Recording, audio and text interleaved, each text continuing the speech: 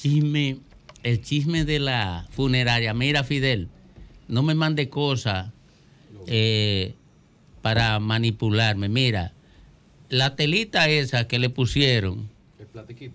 el platiquito que dice, ¿cómo es? Una ciudad creativa. Una ciudad creativa. Se lo pusieron encima al nombre del cañero, que no tiene que estar ahí ese nombre. Tienes razón, Manuel Jiménez. Debe- debían ponerle en la, en la telita la peor gestión de- del mundo. Pero, pero te digo algo. Eh, ¿Cómo le puso él? ¿Quitó el nombre de... ¿Le puso el de él? no, claro que no le puso el ¿Cómo de le él. puso? Le dejó gestión mil no- mi- eh, eh, 2016-2020. De los pocos países del planeta donde le ponen el nombre del el nombre, eso, eso es una y, y cuando un presidente da una guagua, eh, Le ponen el por el presidente. Y por el usted- senador. Usted lo dio con su dinero de su bolsillo. Para, para- Coño, Es- eso es una maldita práctica. Eh, truji- oye. Trujillesca. Estoy de acuerdo con Manuel Jiménez que le pusiera la telita ahí. Y le tapa el cañero. No, lo que tapa es el nombre. No deja ni una cañita afuera. No, no, porque le dejó, le dejó la información apropiada. Gestión 2016-2020. Pero le quitó el nombre del cañero. ¿Qué carajo tiene que estar ese nombre tan feo? Por cierto, ahí. Eh, ahora uno que no es feo. No, no, ese no es feo, no. no yo- El condecorado le llama. Condecorado. Pues condecorado por la universidad. Ven acá, pero a ti no te da, no te da cosa que nombran a Fafa, condecoran a Lenchi, reconocen a, a Giovanni y, y, y a ti a mí. A mí, no, a, mí no me, pro- a mí no me produce absolutamente nada el maldito reconocimiento que le di. Ma- maestro Lenchi Vargas. Ay, gracias, muchas gracias. Eh, Domingo bueno y qué feliz de tener el calor y la alegría del doctor Nieves acá en este nuestro panel y su panel. Un reconocimiento a nuestro equipo técnico siempre presente y a ti dominicano, donde quiera que estés. Como siempre, nuestro respeto, nuestro cariño y nuestra admiración. Eh, nosotros conocimos de una decisión del Tribunal Superior, del Tribunal Administrativo Superior, Superior Tribunal Superior Administrativo. Administrativo, en el sentido de dejar atrás una resolución de la Superintendencia de Electricidad eh, que tenía efecto a partir de noviembre, diciembre del año pasado. Eso implica eh, 800 millones de pesos que las EDES tendrán que reembolsar de alguna manera a los ciudadanos dominicanos.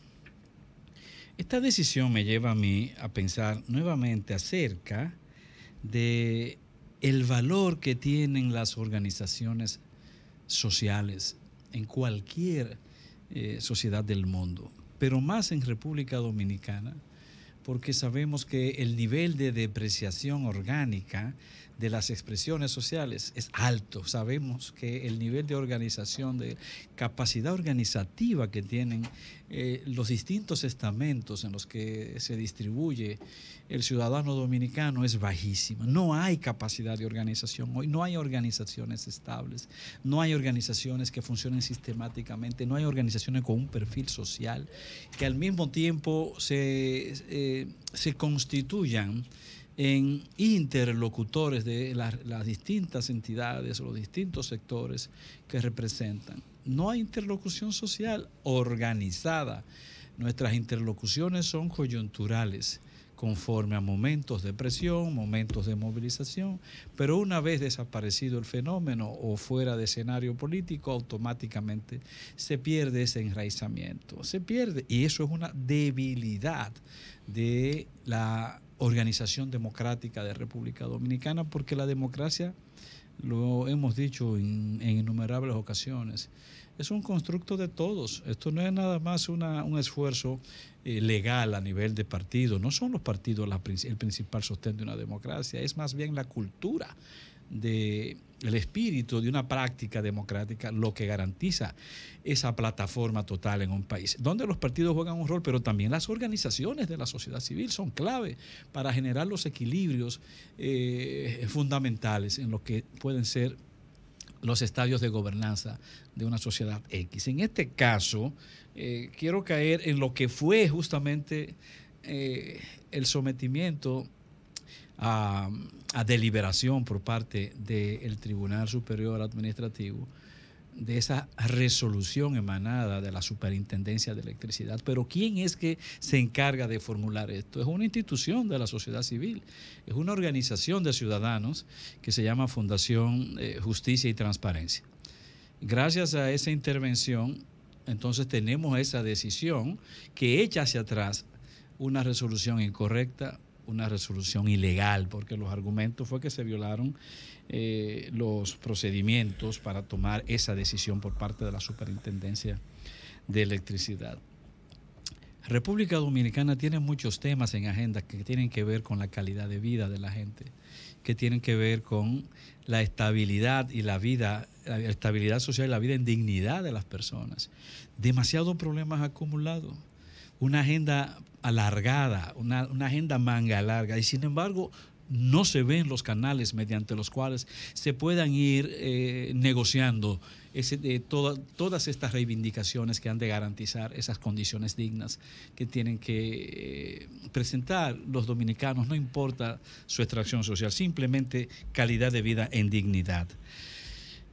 Por eso yo insisto continuamente en que si bien tenemos eh, tantos, tantas, tanta, tanto déficit social acumulado, al mismo tiempo tenemos una gran problemática acumulada con nuestras deficiencias organizativas.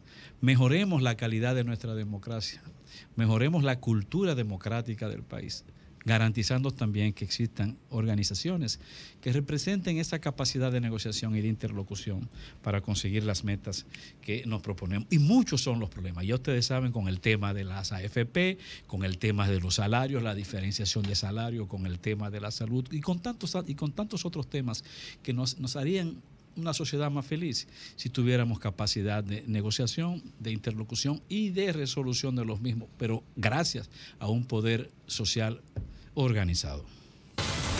Síguenos en las redes sociales. Búscanos arroba sol 1065 FM. Lo mejor de nuestro contenido más cerca de ti. Sol 106.5. Una estación RCC Miria.